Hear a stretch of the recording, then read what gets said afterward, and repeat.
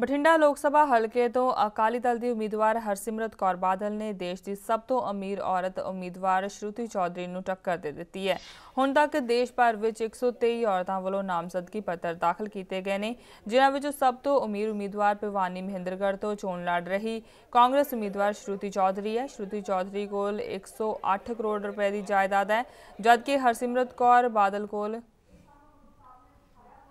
ਹਰਸਿਮਰਤ ਕੌਰ ਬਾਦਲ ਦੂਸਰੇ ਨੰਬਰ ਤੇ ਚੱਲ ਰਹੇ ਨੇ। ਹਰਸਿਮਰਤ ਬਾਦਲ ਦੀ ਸੰਪਤੀ ਸ਼ਰੂਤੀ ਚੌਧਰੀ ਤੋਂ ਸਿਰਫ 15 ਲੱਖ ਰੁਪਏ ਘੱਟ ਹੈ। 15ਵੀਂ ਲੋਕ ਸਭਾ ਵਿੱਚ 57 ਮਹਿਲਾ ਸੰਸਦ ਮੈਂਬਰ ਸਨ, ਜਿਨ੍ਹਾਂ ਵਿੱਚੋਂ ਸਭ ਤੋਂ ਅਮੀਰ ਮਹਿਲਾ ਸੰਸਦ ਮੈਂਬਰ ਉੱਤਰ ਪ੍ਰਦੇਸ਼ ਦੇ ਪ੍ਰਤਾਪਗੜ੍ਹ ਹਲਕੇ ਤੋਂ ਰਾਜਕੁਮਾਰੀ ਰਤਨਾ ਸਿੰਘ ਸੀ, ਜਿਸ ਕੋਲ 67 ਕਰੋੜ 82 ਲੱਖ ਰੁਪਏ ਦੀ ਸੰਪਤੀ ਸੀ। ਉਸ ਸਮੇਂ ਵੀ ਹਰਸਿਮਰਤ ਕੌਰ ਬਾਦਲ 60 ਕਰੋੜ 31 ਲੱਖ ਰੁਪਏ ਦੀ ਜਾਇਦਾਦ ਦੇ ਨਾਲ ਦੂਜੇ ਨੰਬਰ ਤੇ ਸਨ। 16ਵੀਂ ਲੋਕ ਸਭਾ ਚੋਣਾਂ ਦੇ ਮੈਦਾਨ ਵਿੱਚ ਕੁੱਦੀ ਮੀਰਾ ਕੁਮਾਰ ਕੋਲ 38 ਕਰੋੜ 47 ਲੱਖ ਰੁਪਏ ਦੀ ਸੰਪਤੀ ਹੈ। ਨਾਮਜ਼ਦਗੀ ਕਾਗਜ਼ ਦਾਖਲ ਕਰਨ ਸਮੇਂ ਹਰਸਿਮਰਤ ਕੌਰ ਬਾਦਲ ਵੱਲੋਂ ਸੰਪਤੀ ਦੇ ਦਿੱਤੇ ਵੇਰਵਿਆਂ ਅਨੁਸਾਰ ਉਹਨਾਂ ਕੋਲ ਲੰਘੇ 5 ਵਰਿਆਂ ਵਿੱਚ ਸੰਪਤੀ ਕਾਫੀ ਵੱਧ ਗਈ ਹੈ।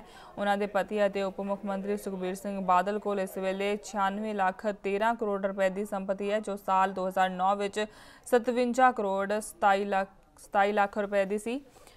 ਹਰਸਿਮਰਤ ਕੌਰ ਬਾਦਲ ਕੋਲ ਸਾਲ 2009 ਵਿੱਚ 1 ਕਰੋੜ 94 ਲੱਖ ਰੁਪਏ ਦਾ 14.93 ਕਿਲੋ ਸੋਨਾ ਅਤੇ ਚਾਂਦੀ ਸਮੇਤ ਸਟੋਨ ਆਦਿ ਸੀ ਅਤੇ ਹੁਣ ਹਰਸਿਮਰਤ ਕੌਰ ਬਾਦਲ ਕੋਲ 5 ਕਰੋੜ 40 ਲੱਖ ਰੁਪਏ ਦੀ ਜੁਐਲਰੀ ਹੈ।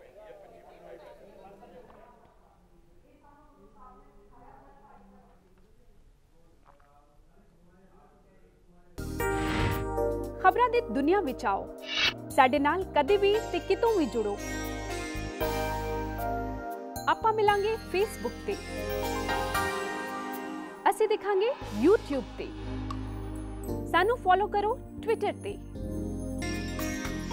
ਖਬਰਾਂ ਨਾਲ ਜੁੜੇ ਰਹੋ ਦਿਨ ਰਾਤ।